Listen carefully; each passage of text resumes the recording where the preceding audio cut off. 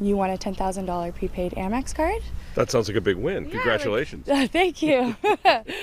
a lot of money on a Monday. Nicole Kirk thought she hit a real payday at Tim Hortons, where she stops most weekdays.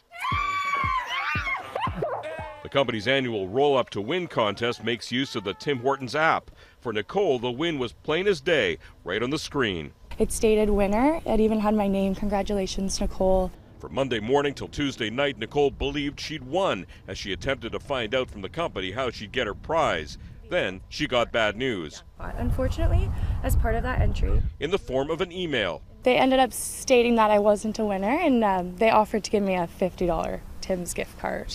Nicole wasn't alone. Other Canadians also won. Then they lost in the same way. explanation from those big brands is more important that that just offering a fifty dollars uh gift card. Tim Hortons told Global News it was a glitch. For a few hours on Monday morning, a technical error caused an issue for a small subset of roll up to win players. They were shown an incorrect award message for a prize that is meant to be awarded once per day to one person in our jackpot draw. What has happened, why this has happened, and how they are gonna make sure that you know this is not gonna happen again in near future. It's only fair. It's- If you rolled up and you win, you should get something. If you won $10,000, do you think that they should have to pay you even if it was a mistake? Yeah, uh, yes, of course.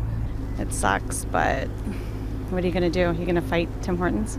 Do you feel rewarded for your loyalty out of this? I don't, no. Um, to me, I thought I won a $10,000 Amex prepaid card. That may not be a lot for a lot of people, but for me, that could be life changing. Sean O'Shea, Global News.